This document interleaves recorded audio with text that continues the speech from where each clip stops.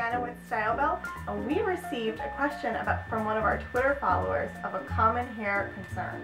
And that question is, which flat iron should you use if you want to do a keratin treatment? And the answer is a titanium flat iron that heats up to at least 450 degrees. And the reason for this is because the titanium plates feature an extra smooth surface, and they also retain heat the best. We personally recommend the Babyliss Pro Nano Titanium Flat Iron. It retains heat the best, it's got extra smooth surface, and it will be great for all keratin treatments. This is Deanna with StyleBell.